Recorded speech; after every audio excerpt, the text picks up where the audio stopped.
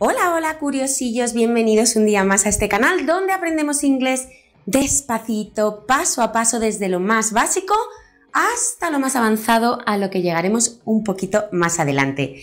Ya hemos comenzado un nivel intermedio de inglés, ya estamos metidos en estructuras gramaticales un poquito más avanzadas y es por eso que hoy vamos a estudiar la voz pasiva, the passive voice. Esto suena un poquito a complicado, pero easy peasy. Esto es pan comido. ¿Quieres que te lo demuestre? Ya verás como si coge lápiz y papel y ponte la pila porque despegamos ya mismo con la voz pasiva.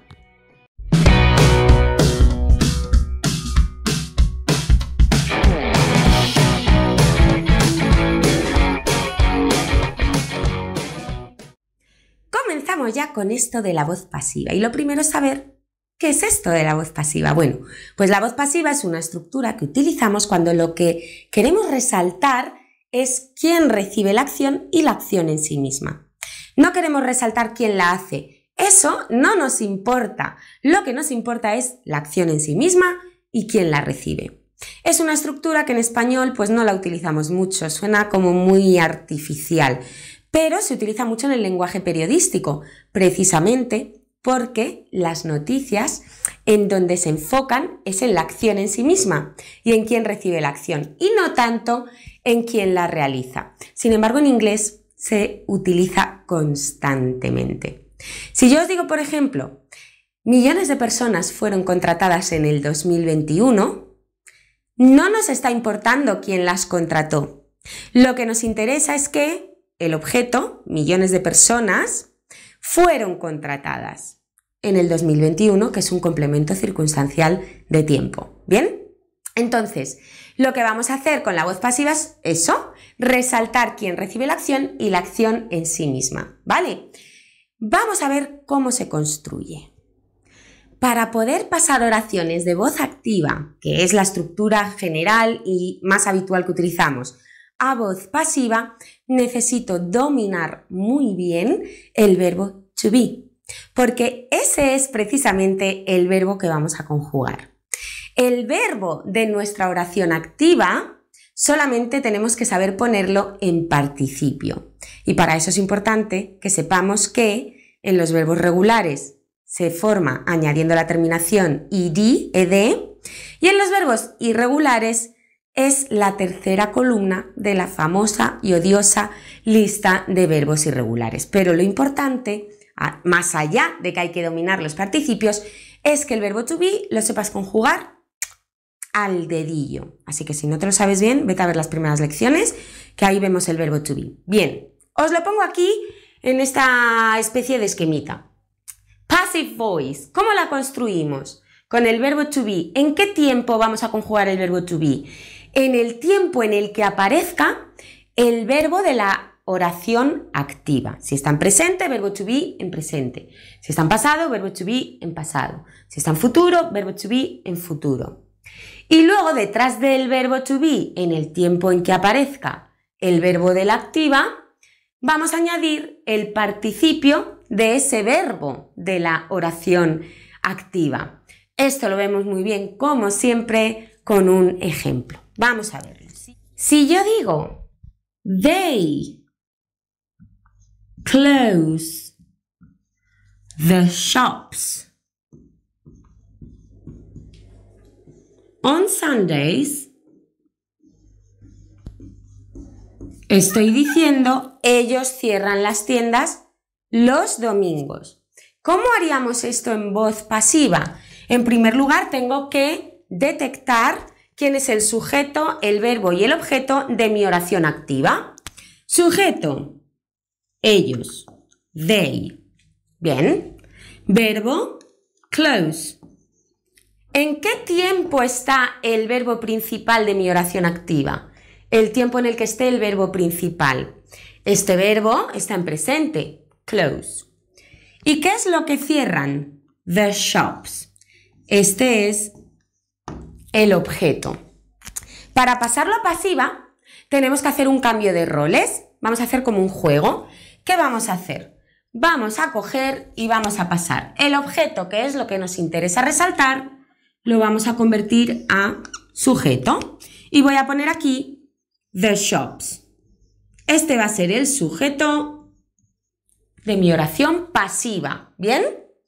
Luego hemos dicho que tengo que poner el verbo to be en el tiempo en el que esté el verbo principal. El verbo principal de mi oración activa está en presente. ¿Cómo sería el presente del verbo to be refiriéndome a the shops, que es plural? Pues are.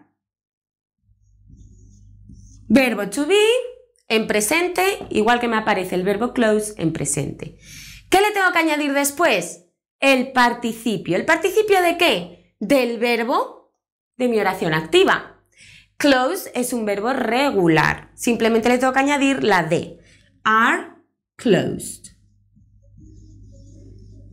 Ya tengo aquí the shops, el verbo are closed, sería todo esto.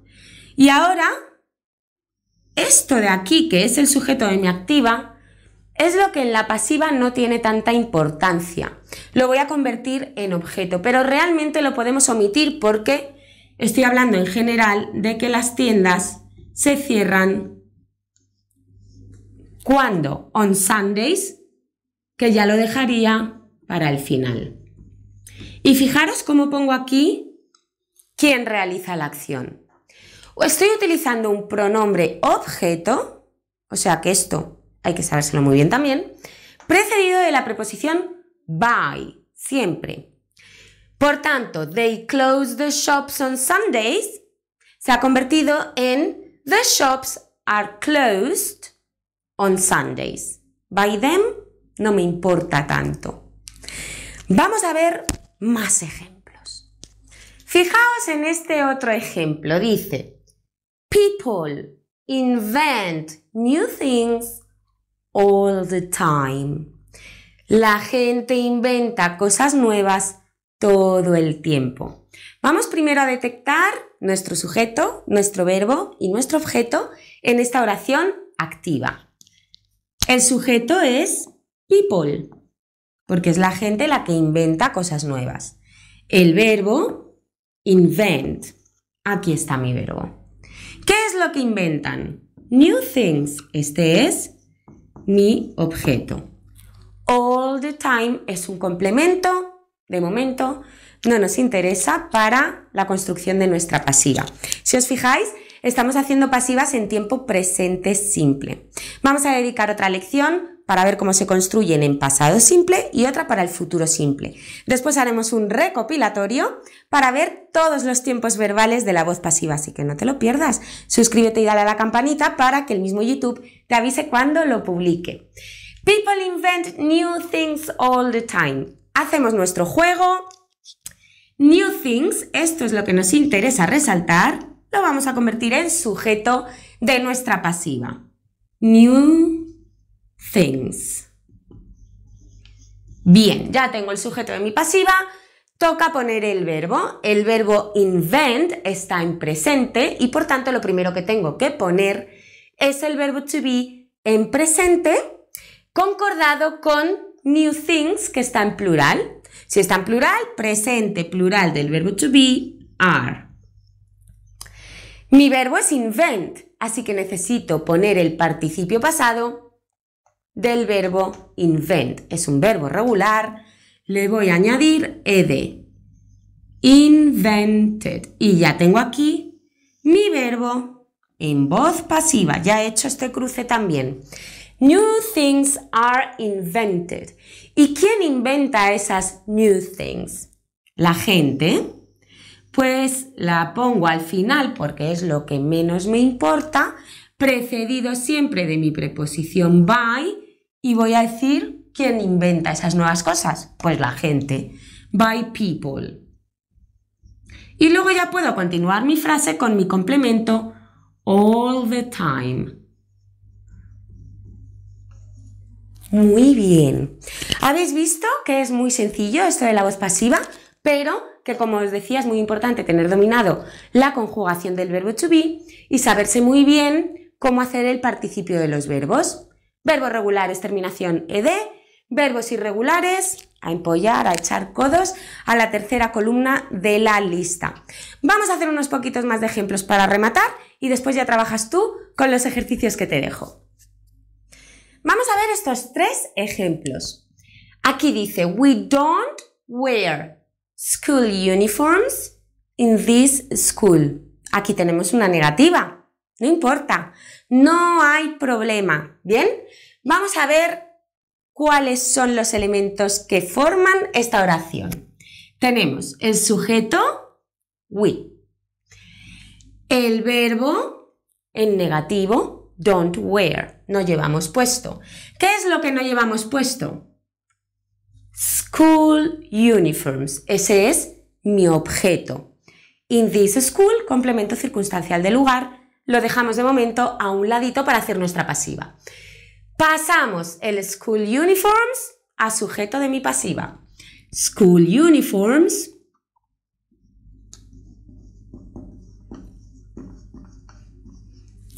Bien, hasta aquí todo bien.